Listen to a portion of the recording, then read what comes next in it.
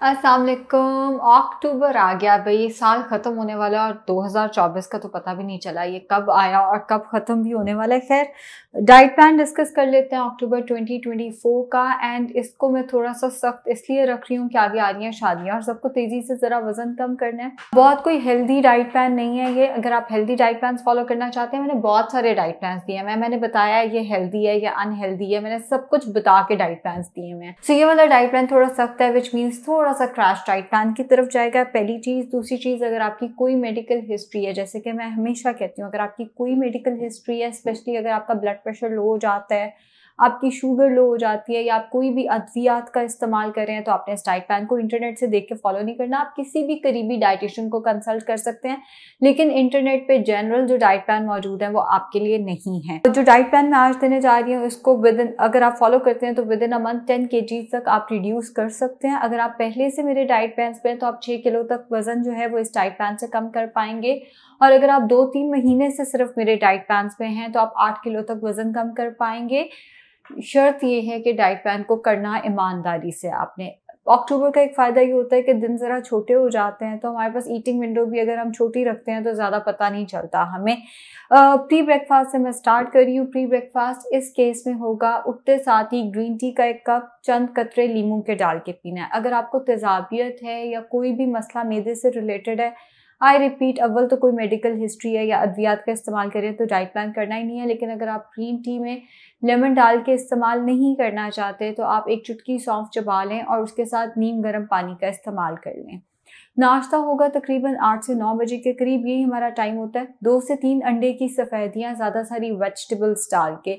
कोई भी seasonal vegetable प्याज, टमाटर तो पूरा साल अवेलेबल होते हैं। उसके अलावा अगर शिमला मिर्च है स्पिनच है, बंद गोभी है, जो भी आपको सब्ज़ी ऑमलेट में पसंद है, वो सब्ज़ी डालकर आपने एक अच्छा सा ऑमलेट बना लेना है। एग वाइट्स का इस्तेमाल करना है। चूँकि हम ज़रा सख्त टाइट पैन पे हैं तो एग योग का इस्तेमाल आपने नहीं करना। उसके साथ आपने लेने हैं सात बादाम। बादाम हो जाए, अखरोट हो जाए, कोई भी नट्स हो, इन्हें सोख करके लिया जाए तो इनकी एब्जॉर्प्शन ज़्यादा अच्छी होती है। तो बादामों को रात को सोख करके रखते हैं, सात बादाम छिलका उतार कर लेने हैं और साथ चाय ले सकते हैं आप।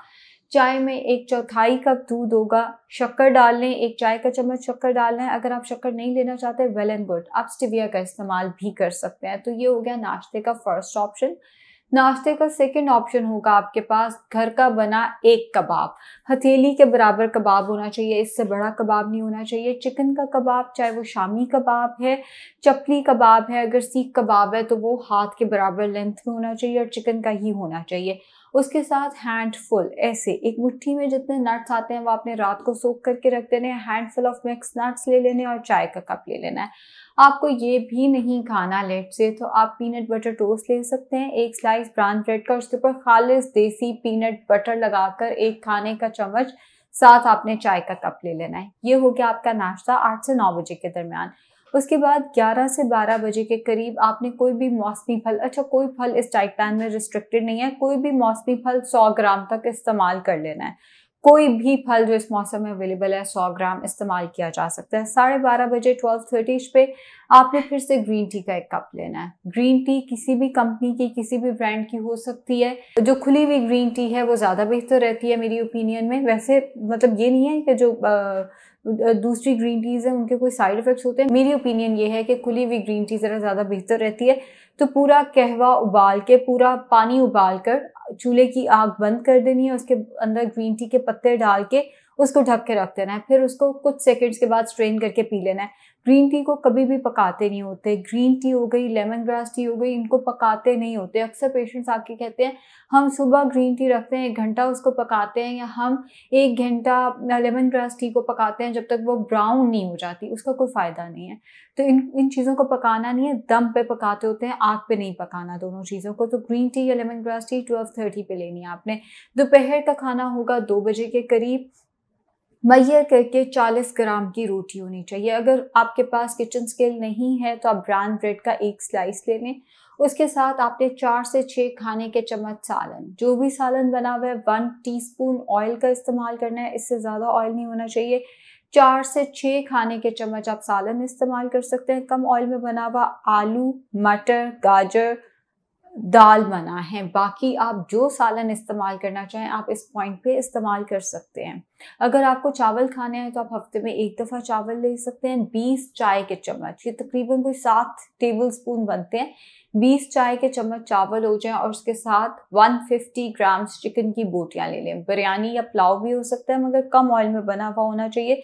कच्ची सब्ज़ियाँ इसके साथ आप जितनी मर्ज़ी ले लें। रॉ वेजिटेबल सैलड आप जितना मर्ज़ी ले लें। इसके साथ आपने दही का या जो रायता है उसका इस्तेमाल नहीं करना। तो दोपहर का खाना 40 ग्राम की रोटी या ब्राउन ब्रेड का स्लाइस, हफ़्ते में एक दफ़ा 20 टीस्पून राइस, रोटी ब्रेड है तो उसके साथ चार से छः खाने के चम्मच सालन चावल हैं तो 150 ग्राम्स उसके साथ आपने चिकन की बोटियाँ ले लेनी है मटन बीफ की बिरयानी या पुलाव अलाउड नहीं है इस डाइट प्लान में।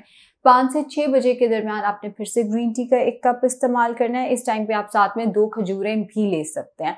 अगर आपको मीठे की क्रेविंग नहीं होती या आपको मीठा पसंद नहीं है या आप खजूरें नहीं खाना चाहते तो आप ग्रीन टी के साथ एक सेब का इस्तेमाल भी कर सकते हैं।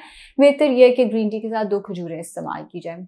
सात बजे के करीब एक खाने का चम्मच इसबगोल दो ग्लास नीम गर्म पानी में डाल के लेना है। और रात का खाना होगा आठ बजे के करीब, जिसमें आप कैबेज चिकन सूप या वो सूप जिसकी रेसिपी मैंने शेयर भी की हुई है। कोई भी सूप विदाउट किसी भी सॉस के विदाउट कॉर्नफ्लावर के विदाउट एनी थिकनर आप इस्तेमाल कर सकते हैं। चिकन जो है वो आपने उसमें 100 ग्राम लेना है। अगर आपको वो नहीं लेना तो तीन खाने के चम्मच मूँगी मसूर की दाल ले लें। टोटल तीन खाने के चम्मच होनी चाहिए। उसको ज़्यादा सारा पानी डाल के सूप की फॉर्म में पका लेना है। अब वो उतनी बन जाएगी जितना आप उसमें पानी डालेंगे। तो पतली सी मूँगी मसूर की दाल बनाकर आपने वो चम्मच से खा लेनी है। इसके साथ आप कच्ची सब्जियों का सलाद ले सकते हैं। अगर आपको ये भी नहीं लेना तो फ़िश आ गई है।